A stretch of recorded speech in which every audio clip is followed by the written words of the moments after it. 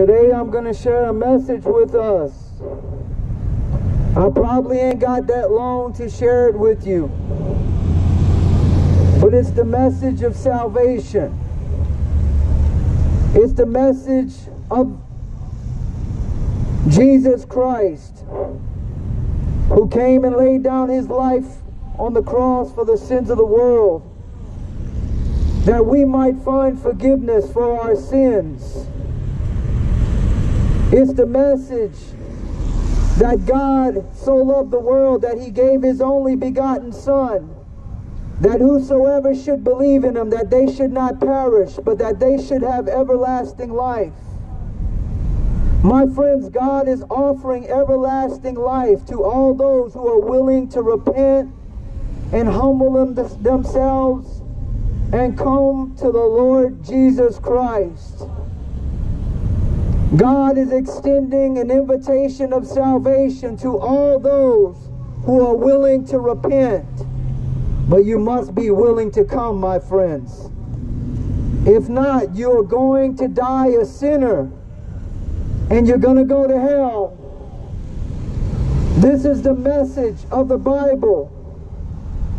It's the message of salvation that God has sent a Savior for us to save us from the judgment of sin. But we must be willing to repent. We must be willing to come to the mercy seat of God while there's still time, my friends. Because time is running out. Time is against us all.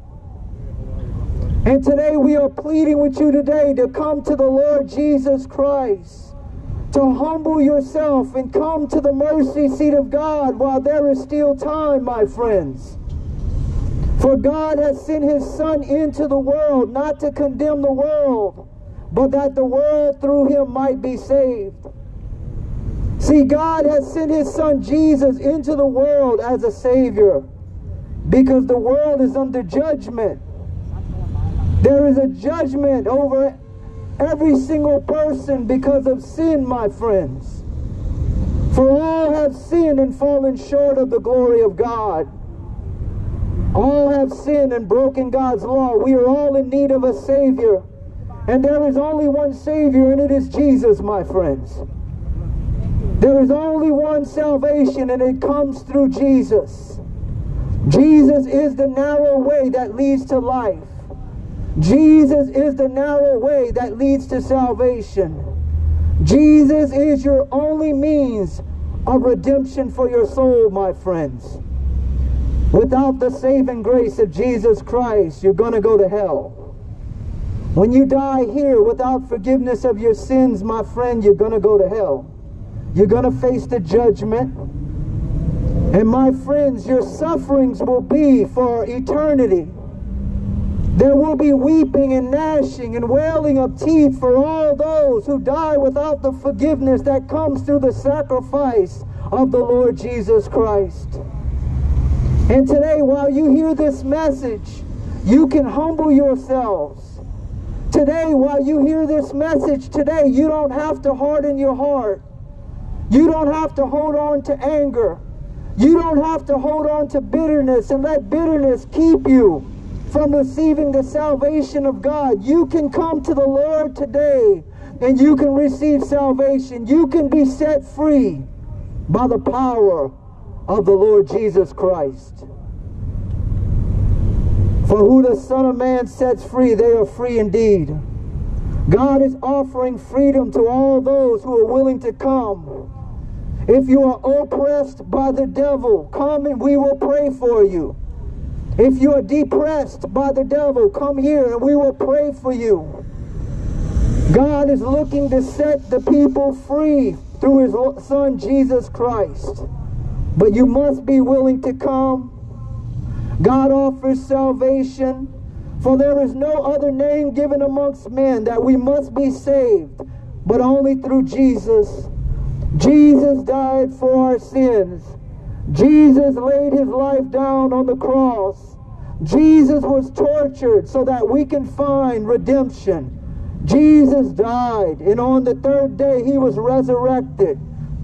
Our sins brought Jesus to the cross. Our rebellion brought Jesus to the cross. And God, in His love and mercy, He sent His Son Jesus for us so that we can be saved. Jesus Christ is a demonstration of God's love. The cross is a demonstration of God's love.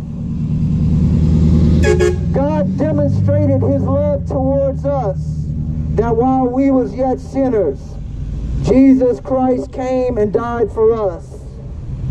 Jesus Christ came and died for the drunkard so that the drunkard can turn and repent and find salvation for his soul. Jesus died and shed his blood for the homosexuals so that the homosexuals could repent and find salvation for their soul. Jesus Christ, he died for the idolater so that that idolater can repent and find salvation for his soul. Jesus Christ, he laid his life down for the drug addicts so that the drug addicts could repent and find salvation for their soul. But my friends, you must recognize that you are a sinner. You must recognize that you are bound. And humble yourself and come to the Lord and recognize that you are a sinner. Be convicted of your sins and godly sorrow, knowing that you have sinned against a holy God.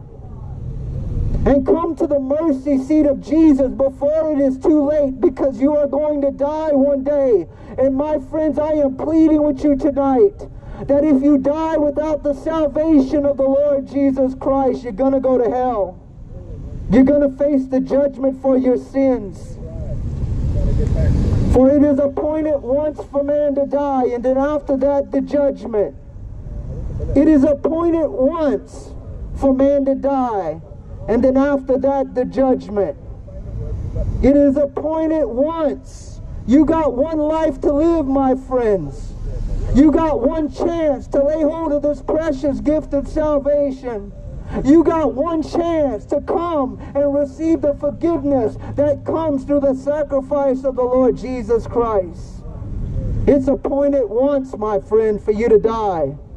And then after that, the judgment. And today we are pleading with you today. If you hear the message of the Lord Jesus, if you hear the message today, don't harden your hearts. Don't harden your heart to the voice of the Lord.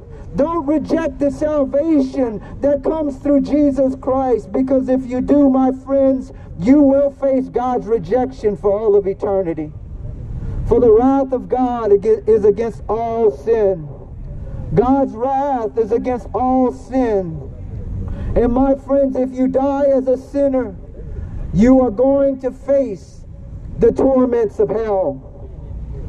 And today we are pleading with you today to come to the Lord, to turn to the mercy seat of Jesus Christ while you are still alive, to repent and believe the gospel, to repent and turn to the Lord Jesus Christ, to repent and lay hold of God's mercy today.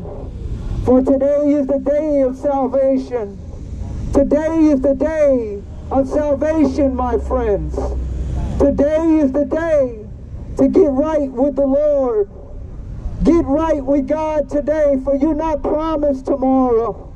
For your life is nothing but a vapor, my friends. You're not in control of your own life. You can be alive today and dead tomorrow. And if you die without the salvation of God, my friends, I am warning you, you will go to hell. Don't be ashamed of Jesus. Don't be ashamed of the gospel and reject the salvation of God, only to spend an eternity facing the judgment of your sin. Hell is a place that is designed for punishment, my friends. And there is great suffering that is coming for those who die without the salvation of the Lord Jesus Christ. And today we are out here to plead with you to wake up Miami, Florida. Wake up Miami, Florida because judgment is coming. For God has appointed a day of judgment where he is going to judge the world in righteousness through his son Jesus. God has appointed a day where he is going to call up each and every sin that you have committed. He sees all the secret sins. He sees all the sexual immorality. He sees all the pornography. He sees everything that's done in secret. The eyes of the Lord is looking everywhere, my friends. And there is a day of accountability coming. And today I am pleading with you today to repent and believe the gospel. Repent and receive the salvation of God. For the grace of God that brings salvation has appeared to all men, teaching us to deny ungodliness and worldly lust that we should live soberly, righteously, and godly in this present age. God's grace is available to everyone, but God's grace is not a license to sin. God's grace does not come so that you can just say, hey, I'm a Christian and you live like you want to live. You don't read the Bible. You don't pray. You live like the devil when you claim the name of Jesus. God's grace is not a license to sin. His grace comes to teach us to live holy. His grace comes to teach us to deny ungodliness and worldly lust, that we would live a life of holiness towards God, a life set apart for the kingdom of God. God's grace comes to sanctify us, but we must be willing to come and lay hold of this precious gift of salvation. God is offering grace to all those who are willing to take a step of faith and say, God, have mercy on me, a sinner, for I have sinned. And humble yourself to the Lord Jesus Christ. Humble yourself, Miami, because judgment is coming. God is extending an invitation to all people. God's mercy is offered to anyone who is willing to come to the mercy seat of God, which is Jesus. Jesus shed his blood for the sins of the world. But you must be willing to come. You must be willing to repent. For Jesus said, so likewise, if you do not repent, you are going to perish. That means if you do not repent, you're going to go to hell. You're going to bust hell wide open. And while you are still alive and you hear this message, Take heed to the word of the Lord today. Take heed to the word of the Lord today. Repent and turn to the Lord Jesus Christ. Repent therefore and be converted, that your sins may be blotted out, and that times of refreshing may come from the presence of the Lord.